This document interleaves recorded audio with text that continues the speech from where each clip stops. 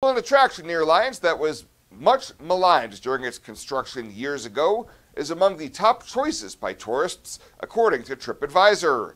City officials say the website has recognized Carhenge in their Traveler's Choice Awards for 2024, a feat previously achieved two years ago. The award honors businesses and attractions that consistently earn great reviews that place them among the top 10% of listings around the world on TripAdvisor. Other Nebraska destinations to receive the award this year include the Golden Spike Tower and Visitor Center in North Platte and the Museum of American Speed in Lincoln.